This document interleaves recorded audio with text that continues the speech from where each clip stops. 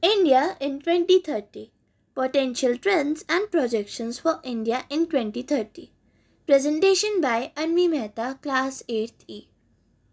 Economic Powerhouse India is expected to maintain its upward trajectory, becoming one of the world's largest economies. Industries like technology, manufacturing, renewable energy, and healthcare are likely to drive economic expansion.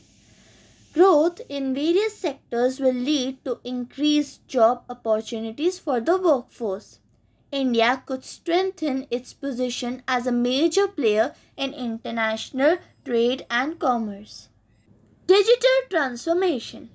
More people across the country will have access to the internet, leading to greater digital connectivity.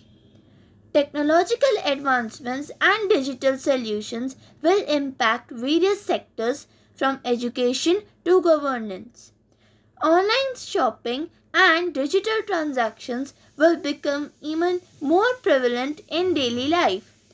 Essential services like healthcare and education might see a shift towards digital platforms. Urban evolution Urbanization will lead to the growth of smart cities focusing on efficient infrastructures and improved quality of life. Efforts to balance urban growth with environmental sustainability will be prioritized. Cities will invest in better public transportation systems to reduce congestion and pollution. Urban planning will include provisions for parks, recreational areas, and public facilities. Renewable energy dominance.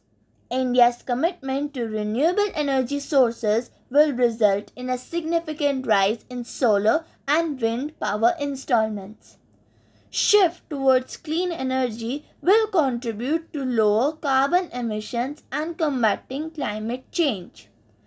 Greater reliance on renewable sources will reduce dependence on fossil fuels and imported energy. Renewable energy initiatives will create new jobs and drive economic growth in the green sector.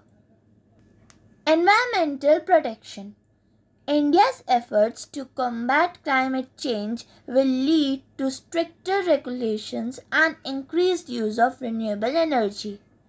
Conservation initiatives will focus on protecting wildlife, natural habitats, and endangered species. Sustainable agriculture, waste management, and green technologies will become more prevalent. Environmental consciousness will be promoted through education and public campaigns. This presentation was made by Anvi Mehta, Class 8E. Thank you.